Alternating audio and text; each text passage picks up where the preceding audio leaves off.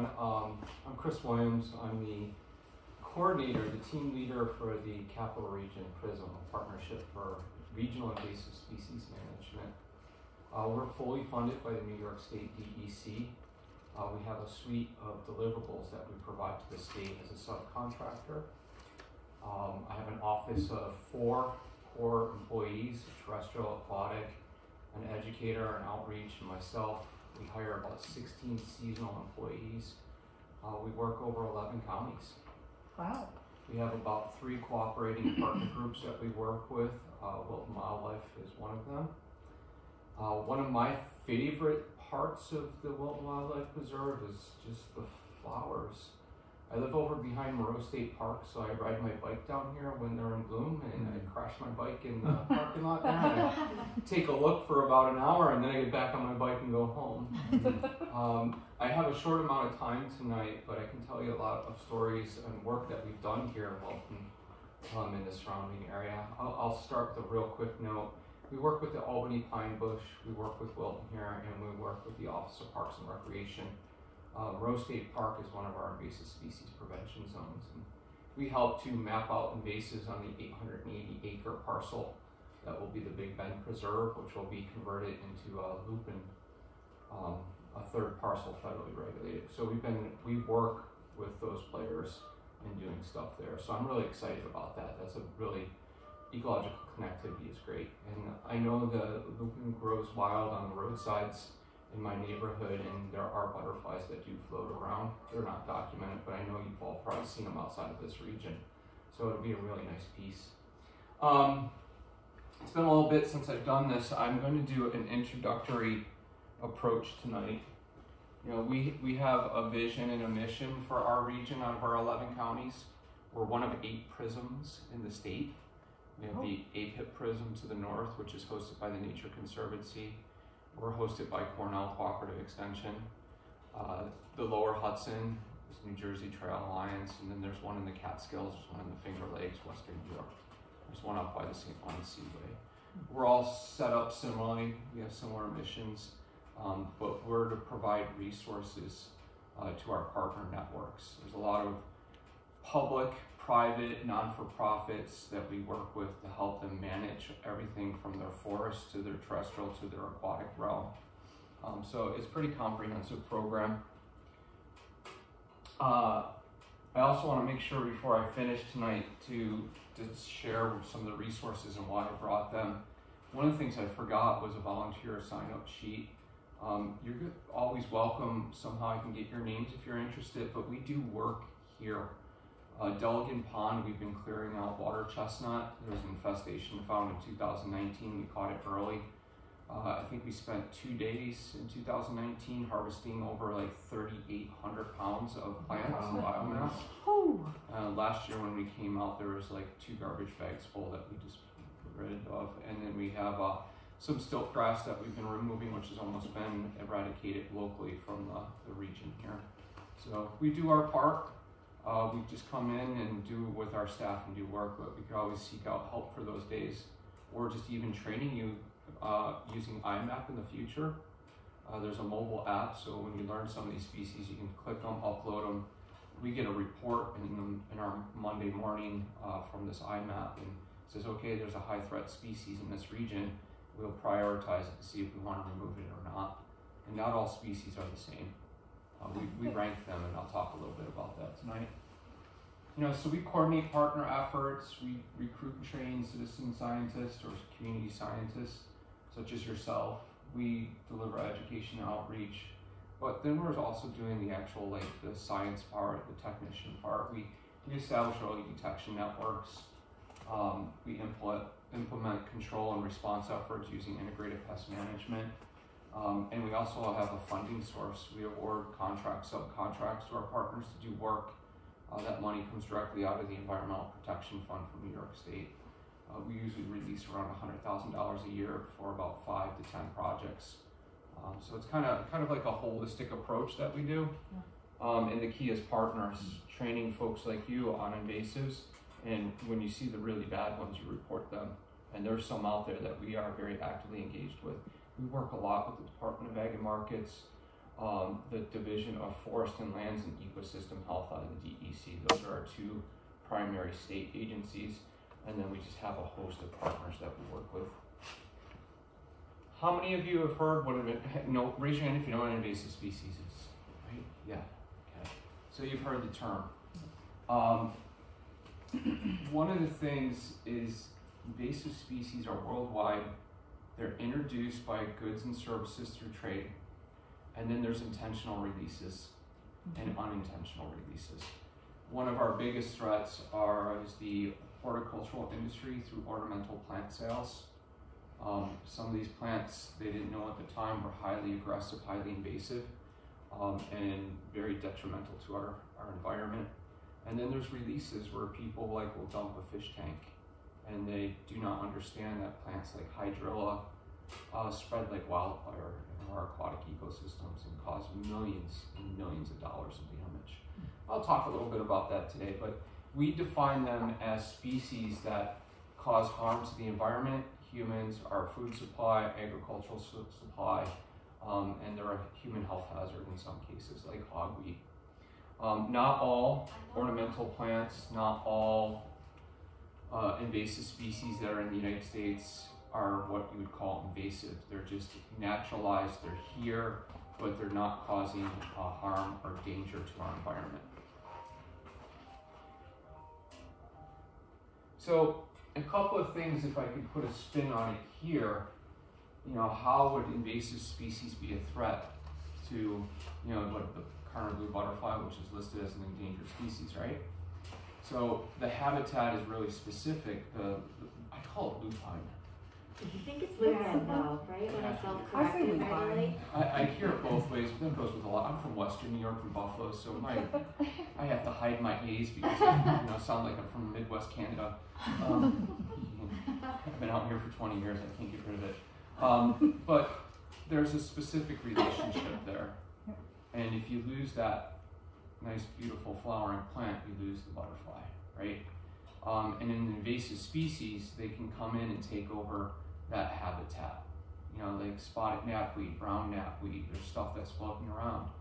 Um, these plants typically did not evolve here on this continent. Right, so, so hundreds of thousands of years overseas in another location, they co-evolved with other plants insects and animals that can control that plant, right? There's competition. There's bugs that can eat the plants that have the digestive um, enzymes to break down the tissue. There are other mammals that might eat it and have that digestive uh, capability to break it down. Deer do not eat invasives. They'll sniff them, they might nibble them, but they don't recognize them in their food palette. Um, there's insects that might nibble on an invasive plant, but they don't recognize it and they don't have that capability to break it down. Um, and, and so they're invasive. There's no control. They typically tend to seed earlier than other native plants. They produce more offspring, more seeds, more propagules, in much greater numbers. Um, so they tend to do really well before our natives. And they tend to be climate hardy. Um, they're coming from lower latitudes often, um, so they're capable of withstanding those higher temperatures and droughty conditions. And in the face of climate change, um, it's a serious concern. I could go on and on about the definition of invasive species and give you examples. This figure is so old; it's it's like ten years old. yeah, they did a study. Pretty Um, And others did a study back in 2005, but like the U.S. spends probably close to 200 billion dollars a year in controlling invasive species. This is the spotted lanternfly. Yeah. This is the instar. It's fourth instar. It's in the capital region now. Um, it's a 400 million dollar agricultural threat uh, to our hops and grape apple stone fruit oh. industry. Oh. Okay, That's huge. a heavy hitter for this area. It is a heavy hitter. I brought stuff. I'll share it before we leave. But if you see this, you report it. Yeah. Um, Department of Ag and Markets, our office will be out to confirm it Yeah. Uh, and they take it very seriously. Trying to slow the spread down. It's been in New Jersey and Delaware since 2014, I believe. Okay, and they've had like quarantines where they've slowed it down. Uh, at one point, they were pulling over all the trucks at the rest stops when the troopers do the truck, truck, truck checks. DEC has drones and stuff. They're flying them over the top of the trucks, inside the trucks, and checking for egg masses in the actual planet hopper. So they're a huge threat. This is hydrilla, an aquatic threat. It, it grows without light in Oh frozen waters below the ice. We don't Wow. have we don't have native plants that do that. Um, so they release energy from their turions, their root system, and they start to grow regardless of light conditions or not. Oh. Very aggressive. Uh, you know, this is a guy treating uh, an ash tree for the emerald ash borer. You know, that tree is a goner. Um, but there are programs in place to get genetic scions to reproduce in the future. I'll be working with the uh, Department of ESF to start releasing the American chestnut hybrid um, back into our environment. So there's hope when we lose things and we collect a seed source and genetic samples. Oak wilt's another concern. So you've got like forest industry, you have agricultural industry, aquatic industry, and believe it or not, this is an onion, and that's the allium leaf miner. There's tons of insects that oh. just attack our food supply, and they're just exceptionally aggressive. I have some terminology. I've thought about updating this, but this is good. You know, native species, they're here at the start of time before colon, you know, colonial settlers. Okay, they're native. And co-evolving with other species, insects, plants, animals for thousands of years, adapting together with their little niches that they live in. Mm-hmm. Non-native species can be exotic, introduced, or alien, right? Ornamental plants that are brought in from overseas, they're not necessarily invasive though. They're not harming the environment or ecosystem they can grow. Okay, there's a lot of examples of that floating around. Um, you know, exotic, you could release an alligator up here, right? It can live for a little bit in the Hudson River, but it's not going to reproduce or make it No. you know. Um, and then we have nuisance species. People call them weeds. Uh, weeds are not invasive. You just happen to clean, make a fresh slate of bare soil, and it's just ripe for the seeds. And these native, beautiful plants come in and they get in your garden. They make havoc. Um, they're nuisance to us from a social standpoint but they have an ecological function and they're native. We, you, you call them weeds, they are not invasive. Um, so when we get into defining actual species, um, you know, you have your ornamentals, and these are the ones we're going to watch out for. Most of uh, the invasive species are coming from plants from the ornamental industry. It's like we didn't know. Like the soil water districts, like 40 years ago, released like multiflora rose and you know uh, autumn olive and said these are great to plant. They didn't realize they took over the environment. They just they grew fast. Soil stabilization on steep slopes. You know, it was a great idea, but they didn't have the science behind it. Um, and when they escape into the environment, we say they get naturalized. Now they may not be invasive yet; they're just escaping into the environment. When we start to document that all of a sudden they're waking up and they're reproducing in large numbers and pushing out the natives, we say that they're waking up and they, they're, they're like super species. And with climate change and the warmer weather that's coming, I, I was I went for a run before I came here. I was in shorts today. Yeah. It's February fifteenth. Uh, these things happen, right? Um, so there's this huge potential for these ornamentals that have been floating around that have just been naturalized to start behave differently. Um, we also keep an eye on native plants too. They can change over time and behave differently. But invasives, again, they, they rapidly reproduce and displace native species, causing harm. They're the number one reason for extinctions of wildlife. Um, behind who? Humans. Yeah. Yeah, the urban sprawl and development um, is the biggest problem with our environment. I just have a really quick question Sure. before you move on. Yeah. The lower right hand corner, which one of those is that? Because I have a lot of it in my backyard. This is uh, The Well, lower right. Lesser celandine, which looks like marsh marigold. Yes. I couldn't remember that. Uh, creeping Charlie. yes. I hate that plant. Is it a problem? It's a pain in the butt. I mean, it is a pain. It's very cute though. I love the little purple flowers that look like snapdragons. Like, I love them. It's an herb that was brought over by the colonists. Um, you can throw it in a salad. It has a terribly bitter taste, but you know, and you didn't have many preservatives back then, Sure. it spreads what like wildfire and It you know, spreads pretty well, yeah. nice sunny lawn-like conditions that we Mhm. probably shouldn't have anyways. Oh. Yeah, So okay, yeah, should I be pulling that though? That's It's- what I'm wondering. it's really difficult to get rid of. Okay. Yeah, um, I, I'm a proponent of chemicals when Oh. you're protecting an endangered species, Okay. and that's another topic. Uh, but you can chemically treat that. Pulling it, if you don't get the little roots, Yeah, yeah, yeah. it's gonna grow right back. Oh, that's fine. Thank The, you. the, the thing is prevention. Don't let it get there in the first yeah. place. Yeah, yeah. Um, yeah, where am I? Saying. I got lost. Sorry. So this is a general, you know, generalizations get you in trouble.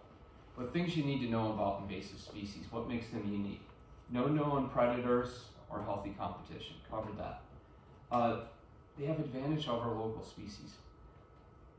Honeysuckle is the most predominant invasive species in our nation. Released by soil and water districts for stabilization, the birds happen to eat the fruits and it's dispersed by birds if you're here in April driving down the Northway 80 miles an hour, I know you do, because everybody else is passing me on the Northway, um, and you start to see green leaves in the understory of the forest along the edge, those leaves are being pushed out on the honeysuckle. Um, that's a competitive advantage. It leaves out almost an entire month early before our native shrubs. So it's already started the photosynthetic process. It goes into reproduction sooner and it gains more starches for its root systems. And it does the same on the reverse end of the in the fall. Um, so that, that's like an advantage it has. They respond better to changes in temperature in harsh environments, drought, uh, flood, too much moisture. They just can handle it. Um, they often have low nutritional value, thus the uh, local animals aren't eating them. Not always. Um, greater populations and dispersal. Okay, that's a big issue, and they tend to dominate like disturbed areas. So as soon as you plow up the soil, they're like, if you have some type of invasive plant, they're going to seed it first before the natives because of all these other reasons, and they create these monocultures. Once established, they have a tendency of keeping native plants from returning. They have allelopathic properties sometimes, where they release chemicals to fight other plants. So in these cases where we get like disturbed environments, you get these monocultures, mono one, right? And they tend to take over a region, and this is where you see a reduction in biodiversity. We need biodiversity for more resilient uh, forests and ecosystems to fight climate change. When you have a community, I'll use like urban street trees.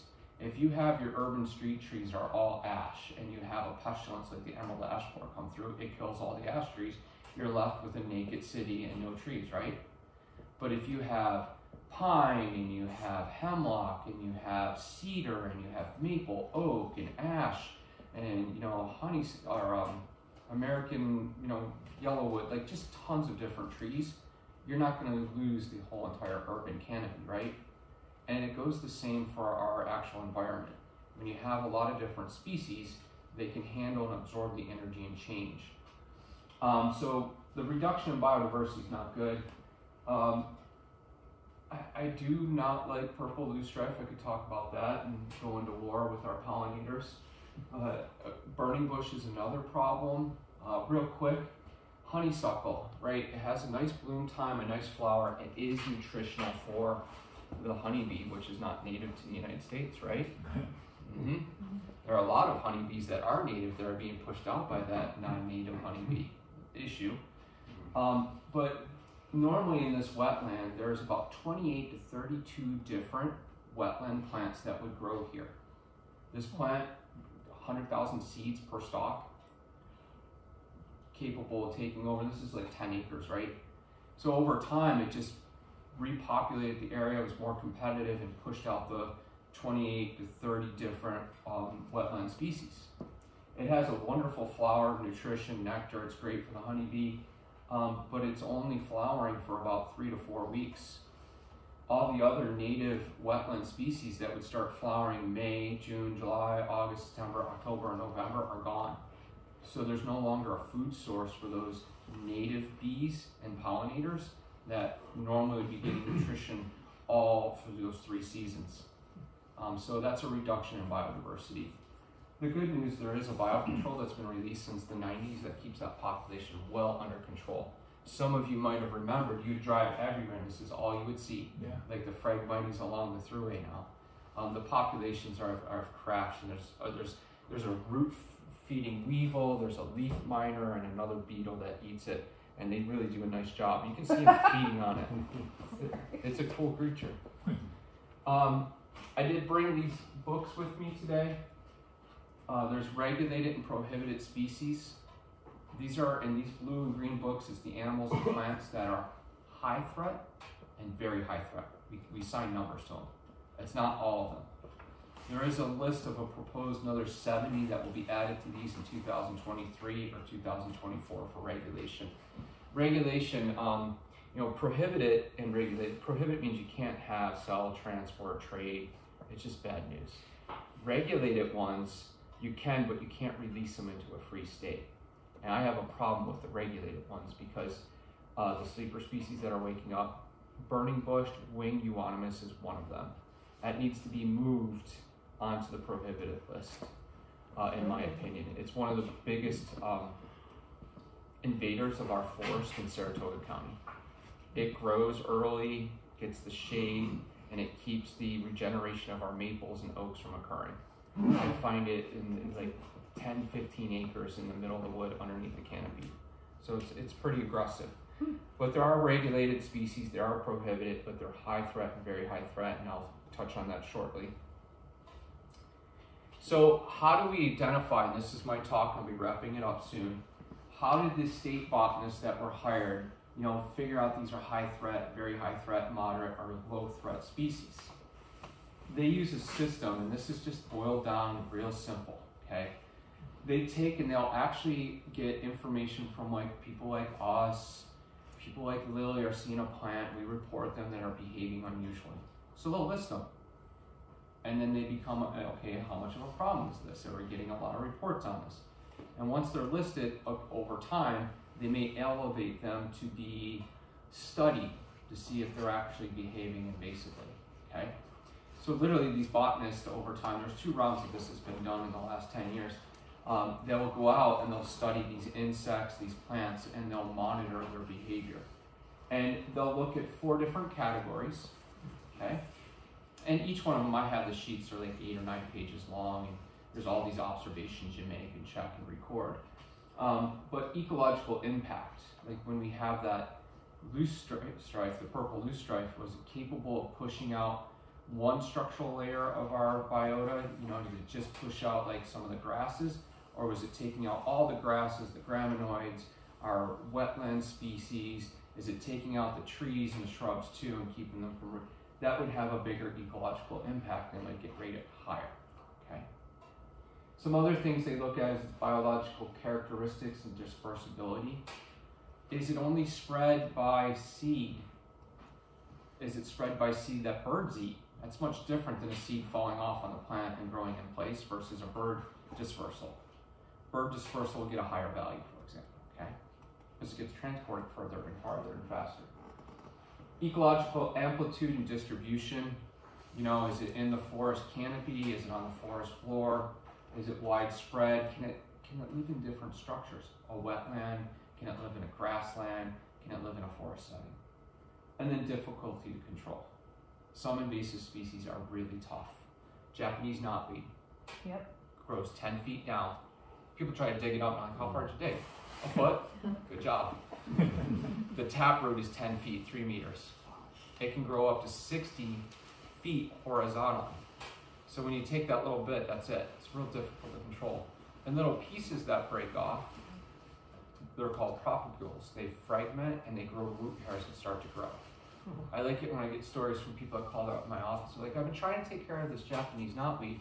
I took my lawnmower out and I mowed it. Oh God. And I'm like, oh, and can you tell me a little bit more? Yeah, it's all over my yard now. So, so they didn't use the right control or treatment for the plant. And I try to tell people when you're trying to control these plants, they're very prescriptive. Okay? It's like if you have some health condition, you're not going to treat a toothache using chemotherapy or hmm. vice versa. Right? You're not going to go to the dentist if you have cancer. So when you're trying to treat these plants, you have to look up the best management practices. That may have been the most gloomiest analogy I've You got the point. Go Chris. it works though, right? Um, so here you go, just to break it down. When they rank all these plants like Japanese knotweed, it's usually about like a 99. You know, Oh, wow. uh, Eurasian milfoil is like a 90 something. They're very high threat species. Only about 5% of the invasive species are high threat like that. Those are the ones that we focus on in our office in low low populations. Okay. Um, high threat, you know, it gets a ranking between 70 and 80. That's 12% of the total ones that are ranked. Or it accounts, you know, if you add them up between high threat and very high threat, you get to 17% altogether. The moderate, low, and insignificant ones, they're not even listed. They're just problematic on a small local level. What they could be if their properties change with climate change. Yep. Um, periwinkle, you guys familiar with that? Yeah. No, What's it's another name? Myrtle. What else is it called? It has a couple names. Uh, Vinca minor. Okay. It's an invasive plant. It has a moderate ranking. Um, it doesn't seed, so it's not very aggressive. But Mm. In sight where it's been planted, I've seen abandoned houses and farms where the, even the infrastructure of the house is gone. There's a foundation or the farm, you know, like from 80 years ago. But you'll see the periwinkle spread over like 15 acres. but it takes like 70 years to get that far. So, oh my god. so it's moderately, you know, ranked and it's not regulated because it's not a huge impact on our ecosystem. But these high threat very high threat ones that I started with, there's a bunch of them and they are problematic. Questions so far? Yes. What's the protocol when you have like a native species that's turning invasive? I don't know. The guys at the university in Cornell are telling me to start paying attention. um, we document them. Um, one of the things you do is sometimes you take vouchers, like a sample, and you report like what's going on, and, and you, you make you know the state botanist and natural heritage program aware of them. Most of the people that are doing that are natural resource workers, Mm. right? Um, but there is a system to do that, but there's no formal documentation. A lot of times we'll get a solicitation by the DEC for plants. We track plants, we have a list. And when they solicit them every four or five years, we submit them to the state. And if they get different agencies and they keep seeing the same plants, they'll, they'll sort them and then start an investigation. There's not a lot of people who do this work. Okay. Um, good question though. If you guys ever want to know more about invasive species, um, the New York State Natural Heritage Program with the prisms have ranked them into a tier system. Uh, tier one, that invasive species not here. Okay? And I say it's not here in the capital region, 11 counties we work out of, or it may not be in the state at all. Tier two are populations of an invasive species that are found 10 or less. Okay, so if I had an invasive plant here, I had one down in Albany, I had a patch of this invasive plant up in Washington County. If I had 10 of them, it's called tier two. And if they're small patches like the size of this room, we can go out and dig them up and get rid of them, right? That's the game. Prevention is we want to have early detection and mitigate these plants before they spread like wildfire. A tier three species is when there's more than 10 populations, typically between like, you know, 11 and 80. At that point, it's no longer feasible for us to spend money to try and contain the plant, animal, or insect. It's just out of control. Tier four, it's widely established, it's found everywhere. So they rank them by prism, and you could always look up the capital region prism, check it, and then you could put in the tier, and then you could say, I want to know all the aquatic plants or all the aquatic animals, and they'll list them. And that's one way you can learn them. If they're highlighted, there's a link there where we give you a species profile. You know, for this one, for example, like uh, Amur honeysuckle, uh, very high threat. Um, it says its social economic value is insignificant or negative, which means nobody buys it in the uh, nursery industry anymore. Uh, it's tier four, so it's found everywhere in the state. We have it listed as tier three here because it's not in some of our counties, um, but it's it's all over the United States. Um, this one here, this Allegheny spurge. Anything spurge is usually problematic. Leafy spurge, there's all sorts of them. Um, but you can see it hasn't been assessed yet, but they're aware of its property, so they list it. if there's more evidence comes through this, this will change. Okay. So there is a list that you can look at if you want to know more about them in detail. I try to, I have some stuff here and I'm almost finished. This is the invasion curve I just talked about. So this is time on the bottom, and then we have area infested over, like say, 11 counties or New York State or the Enronings, whatever you want to do. Um, tier one of the species that aren't here, we're aware of them, that they're hugely problematic. So we want to prevent them from coming in. You spend very low dollars doing prevention strategies, awareness, outreach, right? Uh, stop it from getting here if it's coming on wood pellets from a country or some weird thing. You, you, you stop it. Tier two, this is when there are low populations, that 10 or less spread out over a region. We can still spend money, we can have a team of technicians go out in the forest and remove it. It's not widespread, it's still manageable with limited resources, capacity, and economics. Um, tier three is when it's just taking off. You get those, you know, couple dozen populations, a hundred populations. It starts to become unmanageable. Tier four plants are found everywhere. We don't even bother, unless it's encroaching on an endangered habitat. We will use a suppression or exclusion technique where you remove it from the area to keep it from seeding and pushing out a rare plant or species. Make sense? Mm-hmm. Where do you think people in the general public first recognize an invasive species? Maybe tier four. Anybody else? Tier three? Yeah, it, it, it is in this boundary right here that people recognize, oh, this is a weird plant, what is this? Mm-hmm. Um, we need people identifying and helping us out. Like, you're caretakers of the wild wildlife.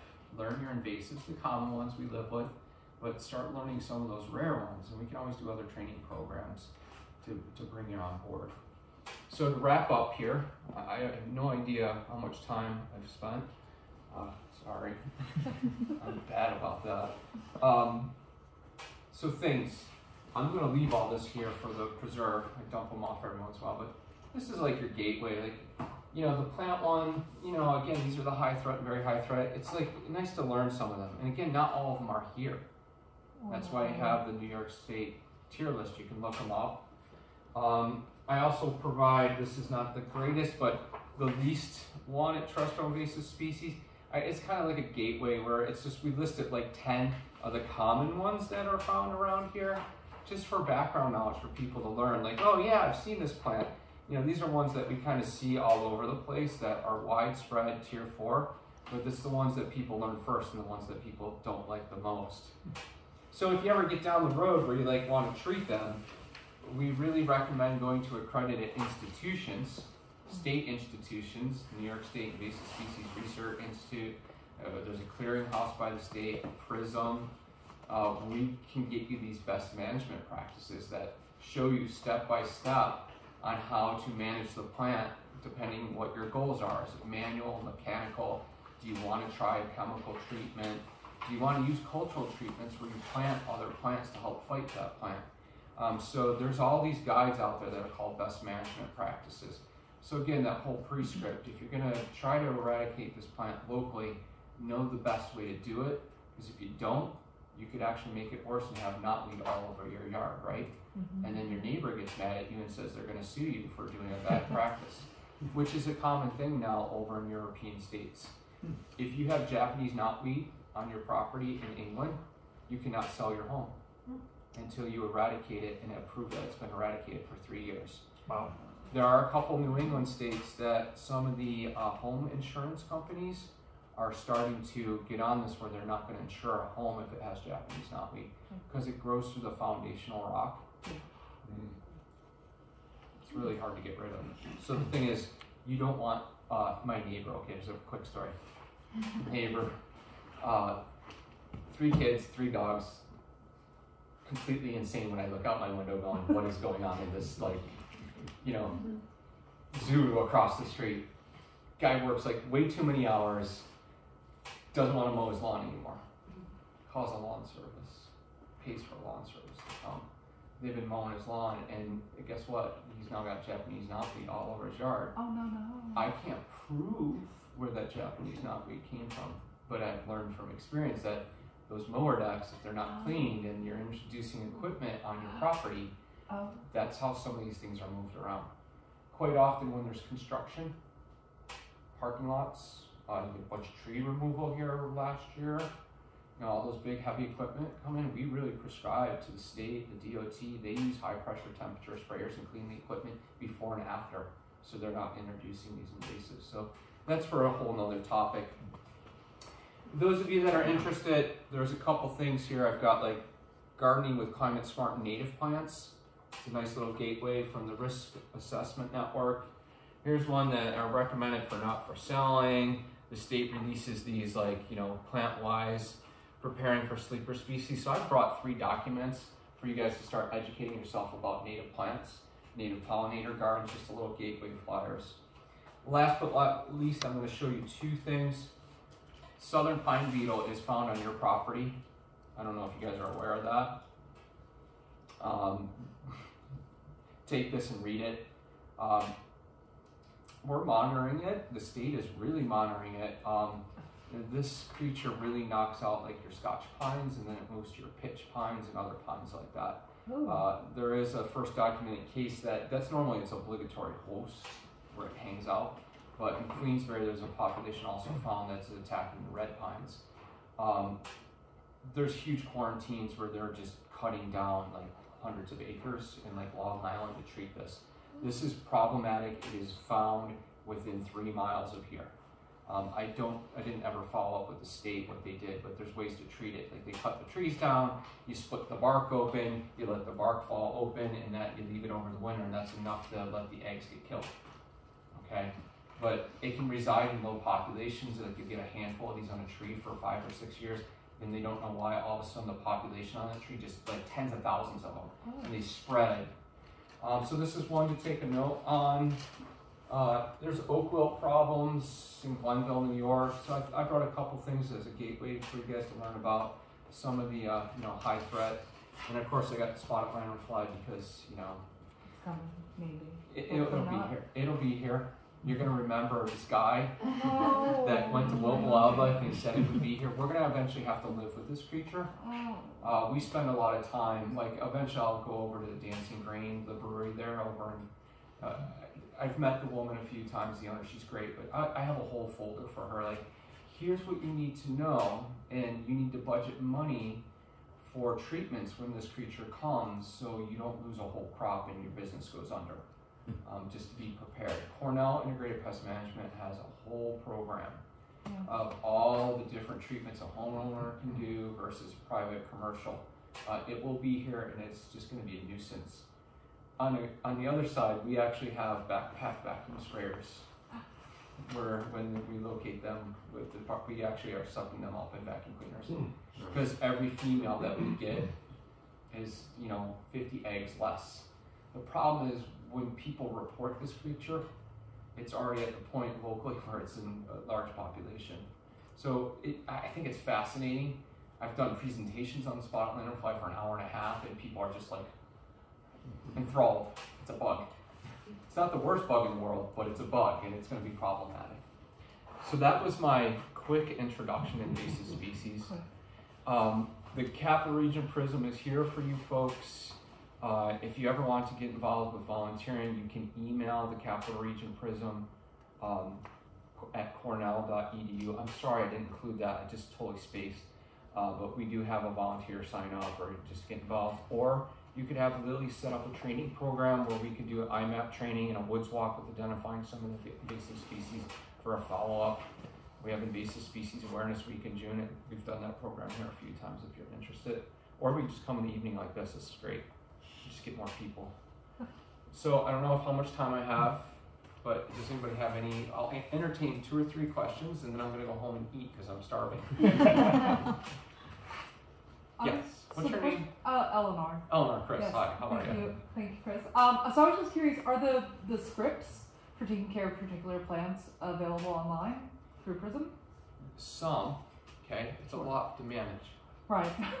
What I recommend for people to do is you start with the words how to control okay, and you're searching. spotted lanternfly, Right. how to control spotted knapweed, Yeah. how to manage, manage and control are your keywords with the species. Now, when stuff comes up, you'll find PRISMs, you'll find the DEC. Hmm. So you'll see some of these are DEC flyers, um, but you'll get Cornell In- Integrated Pest Management, which is a whole entity. Yeah. They have fact sheets. You might get Penn State. Yeah.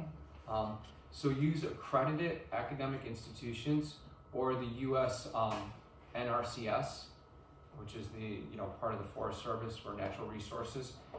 Go to those accredited institutions. Do not go to somebody's blog that says, "Well, I took some whipped cream, some vinegar, I did a dance, and it, I got rid of it." Oh, okay. And you know, uh, there are a lot of like those, uh, you know, I don't even know what you call them, but like It's witches. almost holistic. Yeah, they're they're first they're not scientifically proven, and they sometimes cause harms, and they spread a lot of information that's incorrect and do other people harm. Certainly. Good question. Anybody else?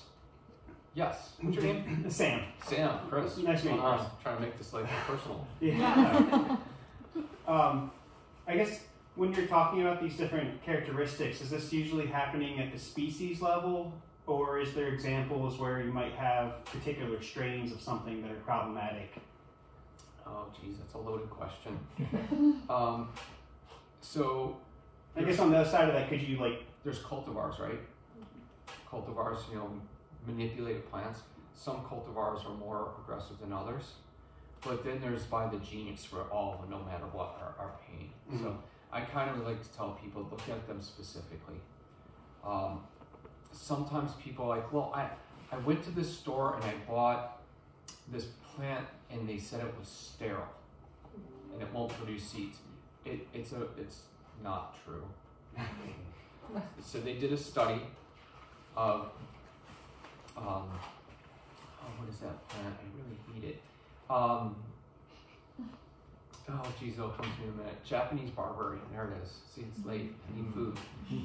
Japanese barberry, right? It's got these little thorns on it. Grows quickly. Every box retail store at one point was putting them along the curves of their like parking lots, right? First, it harbors the white-footed deer mouse who carries tick, and then the ticks like it because it's got this little microclimate, and the ticks survive. So people that have Japanese barberry in their property have higher rates of Lyme disease. Wow. So it's a human health effect. gotten that As soon as, as soon as I tell people that, that's how I convince them to dig it out because they like the colors on the plant. Um, second, they did a study, 48 different cultivars, right? And there was this program where they produced something like 37 of them, and they said that they were sterile. They wouldn't produce seeds. So there was a study done where they took these 38 plants and they actually monitored them over a five to seven year period. Guess how many turned out to be truly sterile and didn't revert to their normal properties? Zero. Three. Wow. Three. Right? So when you have people telling you, like, you know, that, that just goes to show all the cultivars ended up in this one study for one plant, mm-hmm. which is indicative of other plants. That, you know, you can't control Mother Nature, no matter what you think you're doing. The human hand is heavy and it creates massive problems, as we see, right? So you come to the Wilton Wildlife and you hike the trails and you look at the butterflies and good to. Other questions to wrap up? Yes. Yeah, I'm Julie. Hi, Julie.